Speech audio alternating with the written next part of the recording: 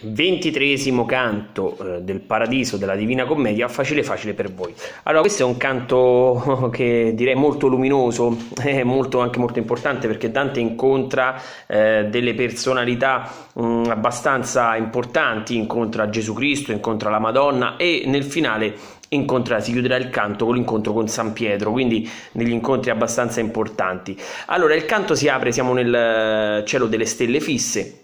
il canto si apre con Beatrice che sta guardando eh, dritta davanti a sé all'orizzonte. Dante ci dice lì dove sembra che il sole si muova più lentamente, ecco, quindi all'orizzonte sta guardando dritta davanti a sé come se stesse aspettando qualcuno. E Dante fa una similitudine molto poetica, ci dice appunto che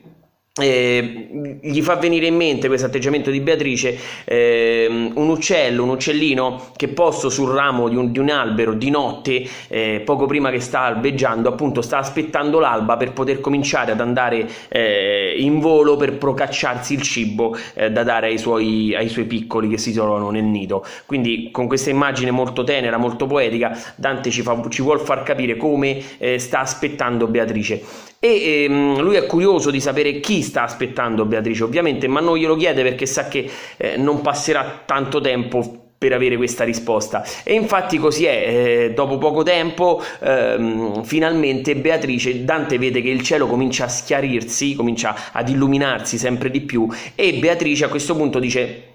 eh, ecco Gesù Cristo trionfante, ecco, ecco, il Cristo trionfante con la schiera eh, dei beati di questo cielo, con tutti i beati di questo cielo. E mentre lo dice, Beatrice il volto di Beatrice è mh, pieno, eh, si accende d'amore e di carità per questa visione. E Dante ci dice che è di una bellezza indescrivibile, infatti rinuncia a descrivere con parole umane la bellezza che, che sta vedendo nel volto di Beatrice. E quindi eh, si gira guardare quello che Beatrice ha indicato e appunto vede ehm, una luce abbastanza grande con tantissime, una miriade di altre luci intorno che sembrano essere illuminate da, da questa luce molto grande. Eh, Dante ci dice come eh, quando in una notte di luna piena le stelle sono più luminescenti perché la luna appunto con la sua luce illumina anche le, le stelle, la volta celeste. Quindi ehm, eh,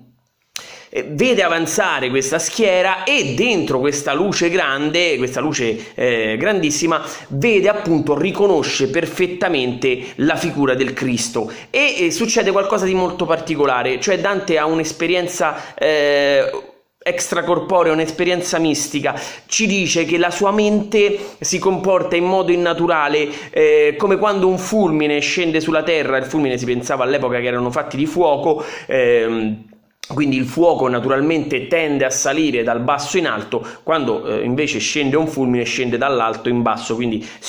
in modo, il fuoco si comporta in modo innaturale in quel caso. Ecco, anche la sua mente si comporta in, in modo innaturale e appunto eh, Dante ci dice che esce da se stessa, quindi la, Dante ha quasi una... Um, un'esperienza extracorporea, la sua mente esce da se stessa, però eh, Dante non riesce a ricordare che cosa succede in quel frangente, che cosa fa la sua mente fuori da se stessa, quindi eh, ci dice appunto che non può dircelo, non, non se lo ricorda. E a un certo punto Mentre sta vivendo questa esperienza, Beatrice lo richiama a sé dicendogli eh, quello è eh, Gesù, quello, appunto gli dice quello è Gesù Cristo, è colui che ha permesso con la sua morte eh, di riaprire la strada tra terra e cielo. Quindi gli dice che la visione che tu hai visto adesso è la più forte visione che si possa avere e quindi da adesso in poi puoi tranquillamente vedere tutte le cose del paradiso, compreso il mio sorriso, senza appunto rischiare eh, di essere in incenerito. Eh, a questo punto Dante si gira verso Beatrice tentando di ricordare che cosa ha appena visto, ma non, non, non se lo ricorda proprio. Eh,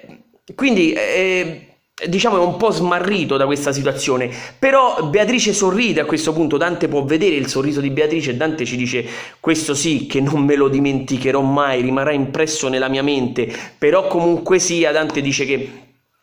anche tutte le muse della poesia, eh, dice Polomnia, e le sue sorelle, cioè tutte le muse della poesia, lo aiutassero nell'impresa di, di descrivere accuratamente e fedelmente il, la bellezza del sorriso di Beatrice, Dante dice io non riuscirei neanche a descrivere la millesima parte di quello che ho visto. E eh, continua dicendo che appunto eh,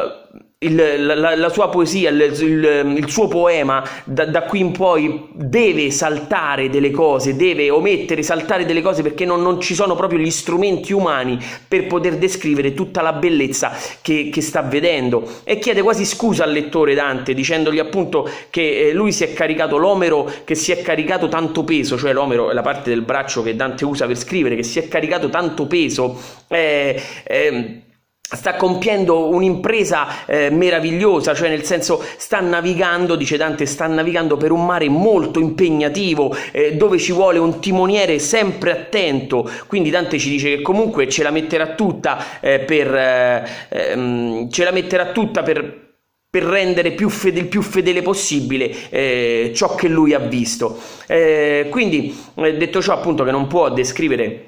il sorriso di Beatrice comunque rimane incantato dalla bellezza di questo sorriso e continua a guardarlo. Eh, a questo punto Beatrice dice a Dante non guardare me, eh, guarda eh, la, la, bellezza di questo cielo delle stelle fisse, guarda, eh, sembra un prato dove appunto eh, c'è la... Mh, mm, il fiore più bello è appunto il fiore eh, dove è germogliato, dove è nato, eh, è il ventre appunto dove è nato Gesù Cristo, cioè quindi la luce più bella è la luce di Maria, eh, la Vergine Maria ora si trova lì davanti a Dante, ecco. Ehm, e poi ci sono tutti gli altri fiori intorno a lei che hanno permesso eh, quindi di, mh, mm, al verbo di Cristo di andare in giro. Quindi c'è Maria che ha permesso a Cristo di farsi eh, carne e a Dio di farsi carne e tutti e gli apostoli vicino a lei che hanno eh, contribuito ad espandere il verbo eh, del Cristo. Quindi Dante si gira per vedere ed effettivamente vede uno spettacolo meraviglioso, vede appunto eh, come un prato con tanti fiori e tutti questi fiori sono illuminati da un sole che Dante ci dice come quando il sole filtra tra la luce del sole filtra tra le nubi e illumina eh, eh, i fiori di un prato. Ecco allo stesso modo queste luci queste anime sembrano dei fiori illuminate da una luce che sta sopra. Infatti Dante ci dice che Gesù Cristo si è levato in alto eh, quindi è andato in alto per permettere agli occhi di Dante di, per poter vedere appunto tutte eh, le altre luci, altrimenti la luce del Cristo avrebbe ehm, eh, oscurato, diciamo così, le, le, altre, non avrebbe permesso agli occhi di Dante umani di vedere gli, le altre luci. Quindi Cristo si è elevato in alto e Dante può vedere tutte le altre luci. E appunto dice che al centro di questo prato, di questo giardino, diciamo così, eh, c'è appunto eh, colei al quale lui mattina e sera, eh, ehm, eh, del quale lui mattina e sera invoca il nome, cioè appunto la Vergine Maria. E mentre sta guardando la figura della Vergine Maria, scende dal cielo un'altra luce, questa si comporta in modo diverso, rotea, quindi forma quasi una corona, questo è l'arcangelo Gabriele, appunto questa corona eh, scende e va appunto a incoronare eh, la, la, luce della Madonna e dice appunto, eh, lo fa con un canto meraviglioso, Dante ci dice che eh, la più bella melodia eh, che si possa ascoltare sulla terra eh, in confronto sembrerebbe il rombo di un tuono, quindi una melodia meravigliosa. Quindi